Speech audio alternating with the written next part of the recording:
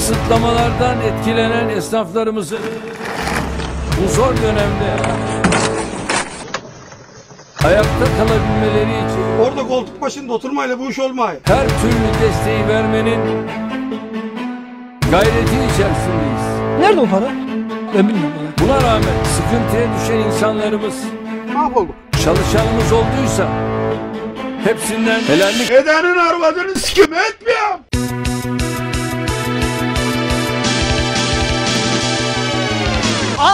Asla. Haram olsun, zıkkım olsun.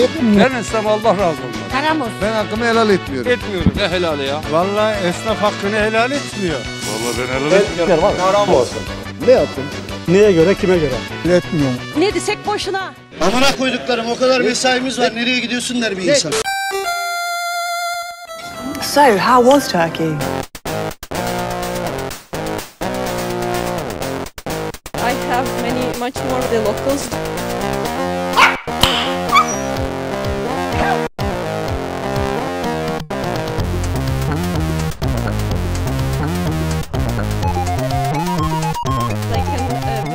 I want.